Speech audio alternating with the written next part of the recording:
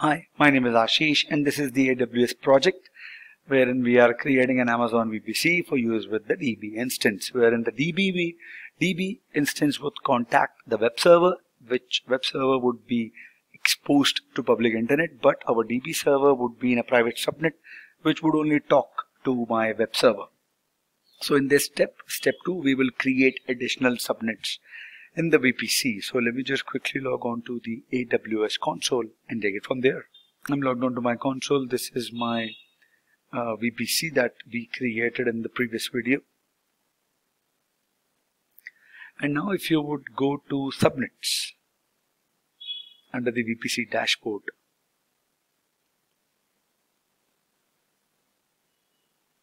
it will launch, you will get to that screen okay so this is the one that we created in the previous video tutorial public tutorial private one. I will click on create subnet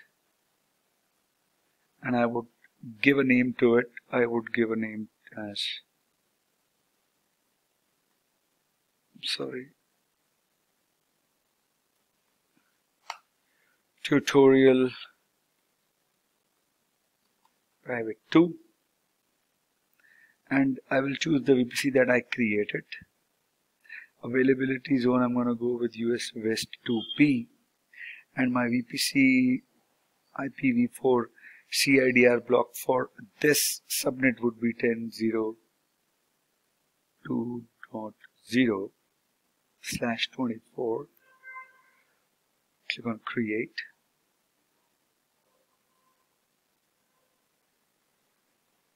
Now I have three subnets. I have uh, two private subnets and I have one public subnet. So to ensure that the second private subnet that we created uses the same route table as the first private subnet, I'm going to go with, uh, I'm going to click on subnets and choose the first private subnet here. Tutorial private one and you see the route table here. You see the route table here and uh,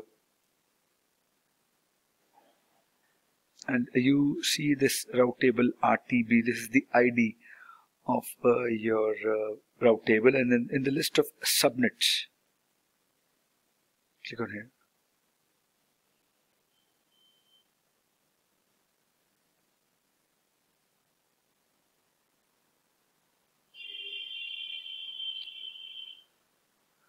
Right now you select one and click on two. You would see see the route table tab.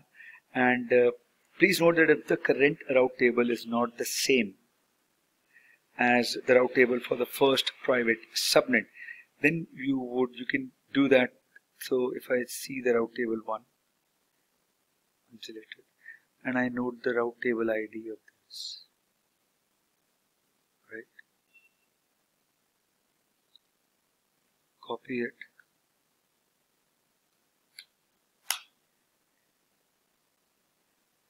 here.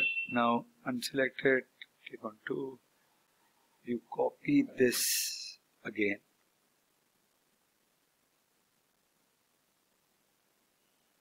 Right?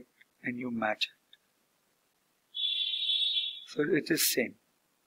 If it wouldn't have been same I would have done edit route table association and I would have selected the correct route table ID from here. So that both the private subnets 1 and private subnet 2 follow the same route and are associated with the same route table. Okay, I click on cancel because it is same. So I hope you liked this video and if you have any further doubts, please mention them in the comment section and I'll see you guys in the next video. Thank you.